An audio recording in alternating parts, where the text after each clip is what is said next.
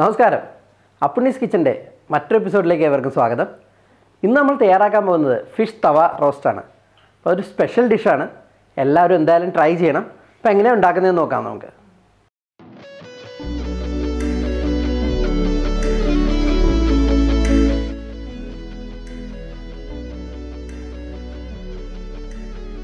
മീനെന്ന് വെച്ചാൽ മലയാളികളുടെ ഒരു ഇഷ്ട വിഭവം തന്നെയാണ് അല്ലേ ഞങ്ങൾ വൈപ്പിങ്കാർക്ക് മീനെന്ന് വെച്ചാൽ ചങ്കല്ല. അത് ചങ്കിടിപ്പ് തന്നെയാണ്. അപ്പോൾ ഇന്ന് തയ്യാറാക്കാൻ പോകുന്നത് ഫിഷ് തവ റോസ്റ്റാണ് അപ്പം അതിന് വേണ്ടിയിട്ട് നന്നായി കഴുകിയ മീൻ ഇതേമാതിരി വരഞ്ഞെടുക്കണം. അതിന്റെ ആദ്യത്തെ സ്റ്റെപ്പ് മാരിനേഷനാണ് അപ്പം അതിന് വേണ്ടിയിട്ടാണ് നമ്മൾ ഈ മീൻ വരഞ്ഞെടുക്കുന്നത്. വരഞ്ഞെടുത്ത മീനിലേക്ക് നമ്മൾ മസാലകൾ ചേർത്ത് നന്നായി തേച്ച് പിടിപ്പിച്ചതിന് ശേഷം ഒരു മണിക്കൂറോളം ഫ്രിഡ്ജിൽ വെച്ച് ഒന്ന് മാരിനേഷൻ പിടിക്കാൻ അനുവദിക്കണം. അപ്പം അതിനായിട്ട് എടുത്തു വച്ചിരിക്കുന്ന മുളക് പൊടി കുരുമുളക് പൊടി പിന്നെ അതിലേക്ക് ആവശ്യത്തിന് ഉപ്പ് ചേർത്തിട്ട് ഒരു വലിയ നാരങ്ങ അതിന്റെ നീര് മുഴുവനായിട്ട് ചേർക്കുക. ചെറുനാരങ്ങയാണ് എടുക്കുന്നതെങ്കിൽ ഒരു മൂന്നോ നാലോ ചെറുനാരങ്ങയുടെ നീര് ചേർക്കാം കുരു വീഴാതെ ശ്രദ്ധിക്കണം. എനിക്ക് പണി കിട്ടി. നിങ്ങൾക്ക് കിട്ടരുത്. കുരു വീഴാതെ ആ നാരങ്ങ നീര് ചേർക്കുക.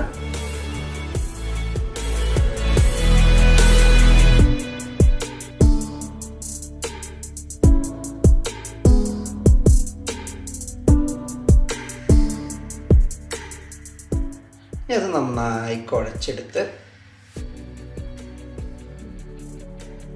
അതിലേക്ക് ചെറുതായി അരിഞ്ഞു വെച്ച കരുവേപ്പില ചേർക്കണം. അതുകൂടി നന്നായി കൂട്ടിക്കുഴച്ച് ഇനി ഇതാണ് നമ്മൾ മീനിലേക്ക് തേച്ച് പിടിപ്പിക്കാൻ പോകുന്നത്. ചെറിയൊരു സ്നേഹത്തോടു കൂടി മീനിന്റെ വരഞ്ഞ ഭാഗത്തും ബാക്കിയുള്ള സ്ഥലങ്ങളിലും ഉള്ളിലും നന്നായിട്ട് ഈ മസാല തേച്ച് പിടിപ്പിക്കുക.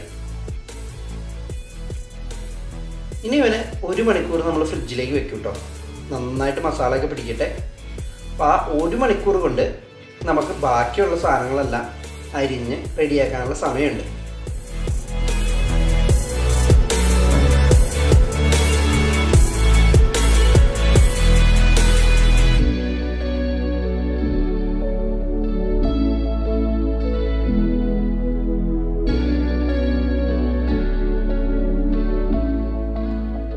ഇതെല്ലാം റോസ്റ്റ് തയ്യാറാക്കാനുള്ള സാധനങ്ങളാണ് കേട്ടോ. എന്തൊക്കെയാണെന്ന് ഓരോന്നും ചേർക്കുമ്പോൾ പറഞ്ഞുതരാം.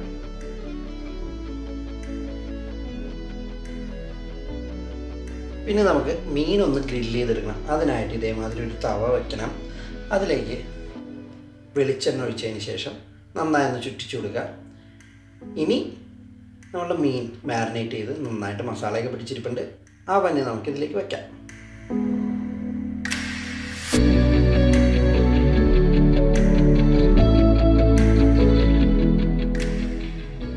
അധികം വെളിച്ചെണ്ണ ഒഴിക്കരുത്. ചെറുതായിട്ട് വെളിച്ചെണ്ണ ഒഴിച്ച് ഒന്ന് മീൻ വയ്ക്കുക. അതിന്റെ ഒരു സൈഡ് ഗ്രില്ലായി കഴിയുമ്പോൾ നമുക്ക് തിരിച്ചിടണം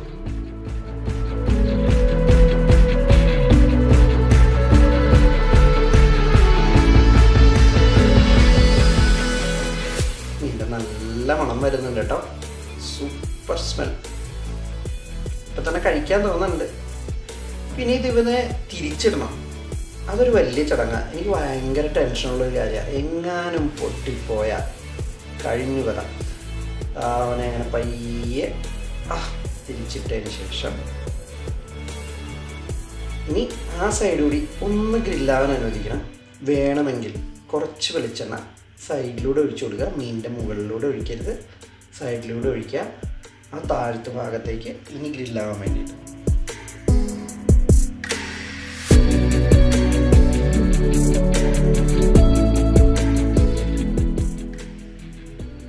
ആ ഭാഗം ഒന്ന് ഗ്രില്ലായി വരുമ്പോൾ അരിഞ്ഞു വെച്ചിരിക്കുന്ന ചെറിയുള്ളി ദാ ഇതേപോലെ ആ മീനിന്റെ സൈഡിലൂടെ ഇട്ട് കൊടുക്കുക.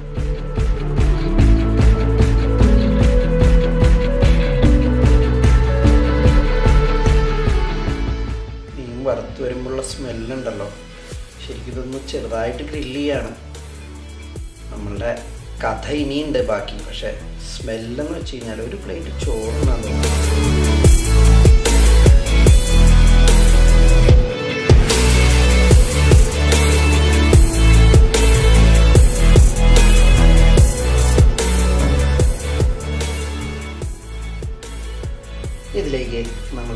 കരിവേപ്പില സ്നേഹത്തോടു കൂടി രണ്ട് സൈഡിലേക്കും വയ്ക്കുക. ഓരോ തണ്ട്.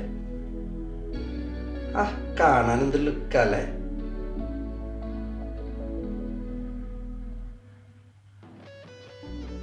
ലുക്കിൽ മാത്രമല്ല ടേസ്റ്റിലും കാര്യമുണ്ട്. നമുക്ക് നോക്കാം.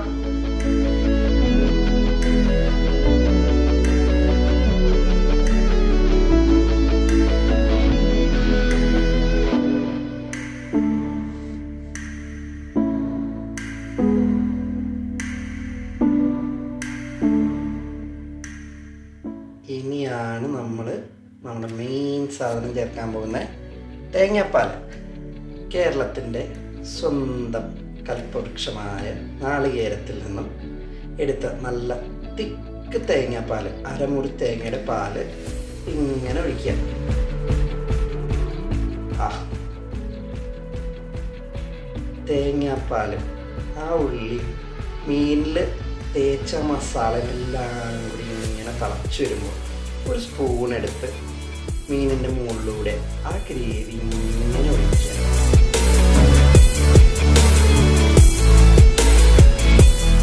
കൊതിച്ച് തിളയ്ക്കുന്ന ആ ഗ്രേവി ഉണ്ടല്ലോ. അവനൊന്ന് തിക്കാവണം. ചെറുതായിട്ടൊന്ന് ഗ്രേവി തിക്കായി വരുന്നവരെ ഈ പ്രോസസ്സ് തൊട്ടാൽ നമുക്ക് ഇങ്ങനെ ത്രീശ ഗ്രേവി എടുത്തെടുത്ത് ആ മീനിന്റെ മുകളിലേക്ക് ഒഴിച്ചു കൊടുക്കാം. ഇടയ്ക്കൊന്ന് പൊക്കി കൊടുക്കുക. അടി പിടിക്കാതിരിക്കാൻ വേണ്ടിയിട്ടാണ്. എന്നിട്ട് ഈ ഗ്രേവി വീണ്ടും ഇങ്ങനെ മുകളിലേക്ക് ഒഴിക്കാം.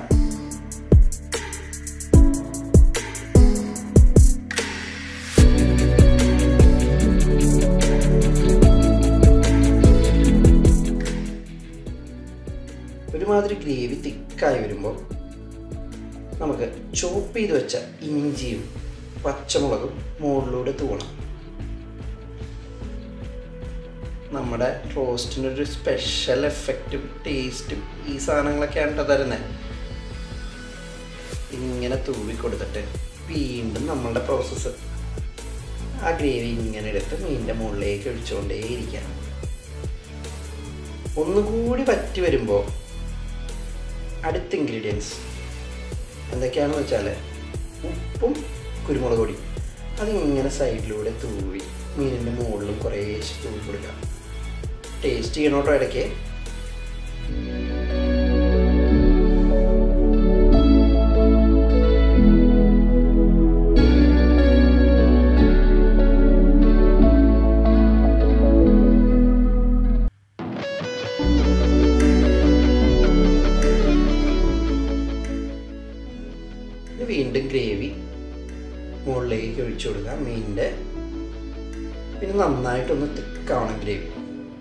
അതുവരെ ഈ പ്രോസസ്സ് തുടരാം.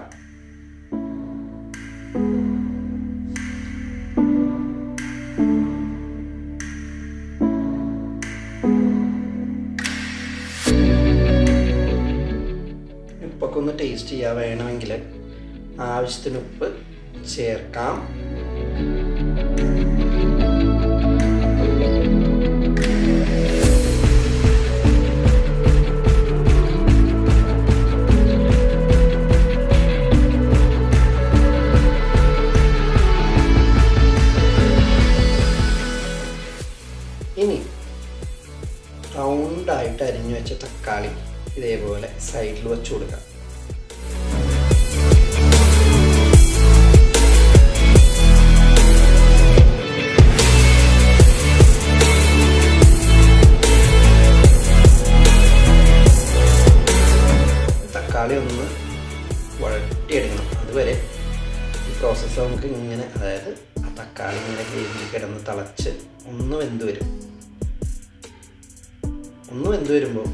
ഗ്രേവി നമ്മൾ ഫിഷിന്റെ മുകളിലേക്ക് ഒഴിക്കണം.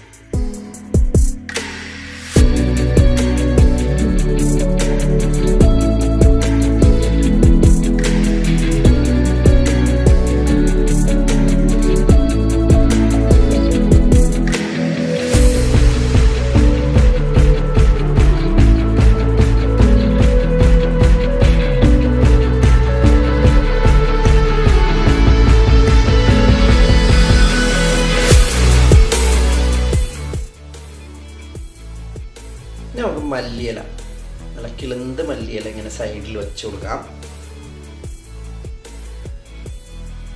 നന്നായിട്ടൊന്ന് ഫിഷ് അടി പിടിക്കാത്ത രീതിയിൽ ഗ്രേവിയെല്ലാം നന്നായിട്ട് തെക്കായി നമുക്കൊന്ന് കൈ കൊണ്ട് തന്നെ അതായത് ഇനി സ്പൂണൊക്കെ ഇട്ട് ഇളക്കിയാൽ ചിലപ്പോൾ മീൻ ഉടഞ്ഞു പോകാൻ സാധ്യതയുണ്ട്. അപ്പോൾ പാൻ ഒന്ന് എടുത്തിട്ട് ഇളക്കുക. ഇനി മീനെ നമ്മൾ ഒരു പ്ലേറ്റിലേക്ക് പയ്യെ എടുത്ത് മാറ്റുക. ബാക്കിയുള്ള ആ ഗ്രേവി തിക്കാവുന്നവരെ നമുക്കൊന്ന് മിക്സ് ചെയ്തെടുക്കാം. ഇനി താ ഇതേപോലെ വെച്ച മീനിന്റെ മുകളിലേക്ക് ആ തിക്കാക്കി കൊണ്ടുവന്ന ഗ്രേവിയില്ലേ അതിങ്ങനെ ഒഴിച്ചു കൊടുക്കുക സ്മെല്ലും കാണുമ്പോൾ തന്നെ കൂതിയാവാണ്. ഇപ്പോൾ നമ്മുടെ മലയാളികളുടെ ഒരു സ്പെഷ്യൽ വിഭവം അല്ലെങ്കിൽ ഇഷ്ടപ്പെട്ട വിഭവമായ മീൻ ഒരു പുതിയ രീതിയിലാണ് ഉണ്ടാക്കിയിരിക്കുന്നത്. എല്ലാവർക്കും ഇഷ്ടമാവുമെന്ന് വിചാരിക്കുന്നു. എന്തായാലും ട്രൈ ചെയ്യണം കേട്ടോ.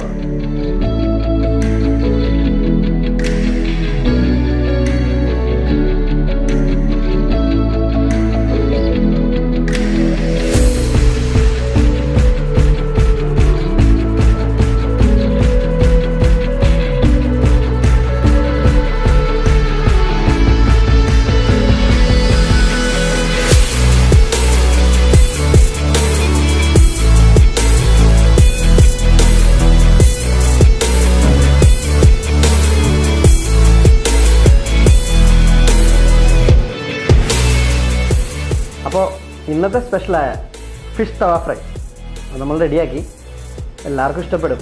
എന്തായാലും ഒന്ന് ട്രൈ ചെയ്യണം നിങ്ങൾ ഈ റെസിപ്പി നിങ്ങൾക്ക് നിങ്ങളുടെ വീടുകളിൽ ഫിഷ് സ്പെഷ്യലായിട്ട് ഉണ്ടാക്കണമെന്ന് ഒരു പുതിയൊരു സ്റ്റൈലിൽ അപ്പോൾ അത് നിങ്ങൾക്ക് ഇത് ട്രൈ ചെയ്യാം. പിന്നെ നിങ്ങളുടെ വീട്ടിൽ അതിഥികൾ വരുമ്പോഴും നിങ്ങൾക്ക് ഒരു സ്പെഷ്യൽ ഡിഷായിട്ട് കൊടുക്കാൻ പറ്റിയൊരു സാധനമാണ്. ഇത് നമുക്ക് ചെയ്യാൻ പറ്റുന്നത് ആവോലി പിന്നെ അതുപോലെ തന്നെ പാര പിന്നെ ഷേരി അതായത് അധികം മുള്ളില്ലാത്തതും എന്നാൽ ഒറ്റയായിട്ട് നമുക്ക് ഇതേമാതിരി ഗ്രില്ല് ചെയ്തെടുക്കാൻ പറ്റിയതുമായ ഫിഷ് നമുക്ക് ഇതേമാതിരി ചെയ്തെടുക്കാൻ പറ്റും. അപ്പോൾ എല്ലാവരും ഒന്ന് ട്രൈ ചെയ്യുക. അഭിപ്രായങ്ങൾ കമന്റ് ചെയ്യാൻ മറക്കരുത്. മാത്രമല്ല എന്റെ ചാനൽ സബ്സ്ക്രൈബ് ചെയ്തിട്ടില്ല എന്നുണ്ടെങ്കിൽ സബ്സ്ക്രൈബ് ചെയ്യുക. കൂടാ ബെൽ ബട്ടണും അപ്പോൾ ഇനിയൊരു റെസിപ്പിയുമായി കാണുന്നവരെ ബൈ ടേക്ക് കെയർ